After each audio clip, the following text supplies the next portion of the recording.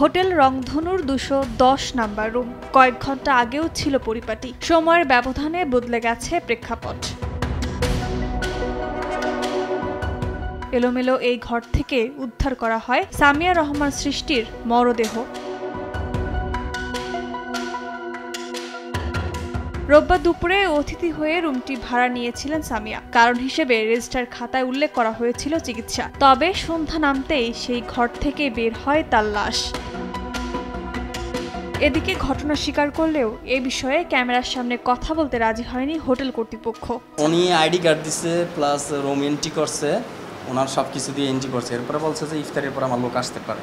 তো এর মধ্যে ওনার পুলিশ ভিডিও মিডিও মোবাইলে অনেক কিছু পাইছে পুলিশ নোটিস পাইছে যার জন্য আমরা দায়বার হই নাই। এক দুই তিন। ঢাকায় জমি জিতে নিন একশো পার্সেন্ট ক্যাশব্যাক সহ বিশ কোটি টাকার পুরস্কার।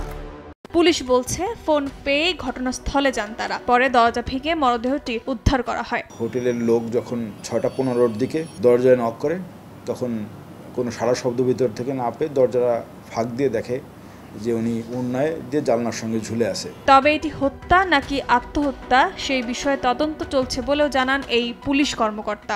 সুনির্দিষ্ট কোনো কারণ জানতে পারি নাই বিভিন্ন তথ্য পেয়েছি এগুলি আমরা যাচাই বাছাই করে দেখতেছি।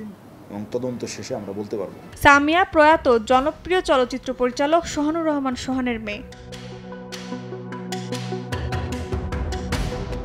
আশরাফি দিবা, সময় সংবাদ, ঢাকা।